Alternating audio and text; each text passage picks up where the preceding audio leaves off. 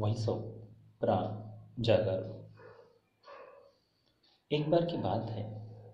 एक बार तथागत भगवान गौतम बुद्ध के पास एक व्यक्ति गए।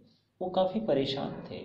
वो बार बार कह रहा था कि भगवंत मैं काफ़ी परेशान हूँ मैं काफ़ी दुखी हूँ।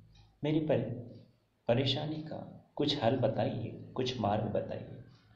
वो बार बार तथागत भगवान गौतम बुद्ध से पूछ रहा था। तथागत भगवान गौतम बुद्ध उससे कहते हैं, ऐसा कीजिए, आप एक मुट्ठी नमक ले लो और उसे एक गिलास पानी में डाल दो। अब उसको घोलने के बाद तथागत कहते हैं कि इसके, इसे पियो और इसका टेस्ट बताओ। तो वो जैसे ही मुँह में पानी ले लेता है तो वैसे ही थूकते हुए बोलता है, यह तो बहुत खारा है। तथागत भगवान गौतम बुद्ध हँसते हैं और बोलते हैं कि ऐसा करो, फिर से एक मुट्ठी नमक, पानी ले लो, नमक ले लो और इसे लेकर मेरे पीछे पीछे आओ। दोनों साथ चल रहे थे। एक बड़ी सी झील के पास आकर रुक गए। झील। तथागत भगवान गौतम बुद्ध ने कहा कि अब इस झील में अपने मुट्ठी का नमक डाल दो। और फिर कहा कि यहाँ का पानी अब पी कर देखो तथागत भगवान गौतम बुद्ध जब ऐसा कहते हैं तो वो गृहस्थ वैसे ही करता है।